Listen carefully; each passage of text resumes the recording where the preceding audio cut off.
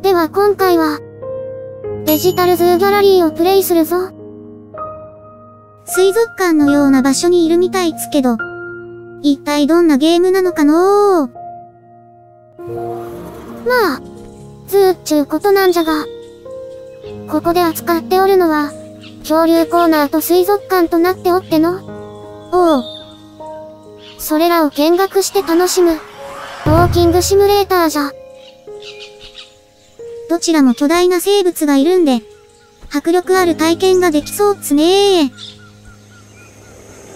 ちゅうわけで、まずは恐竜コーナーなんじゃが、早速でっけえのが現れおったの。この方は何なんすか？首が長えんで、ブラキオサウルスあたりっすかねー。お次は多分、ティラノサウルス。多分ってなんだよ。まあでも、めっちゃ強そうっすねあとは、静かな野郎がいたり、空飛んでおったのがいたりで、なかなか賑やかじゃったのー。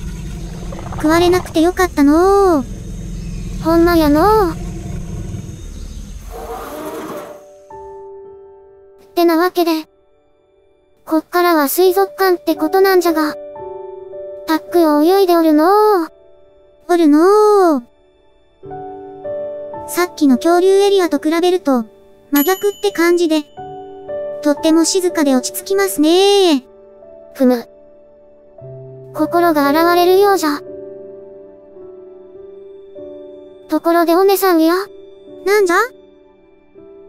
このタコで、何人前のたこ焼きが作れるかのー。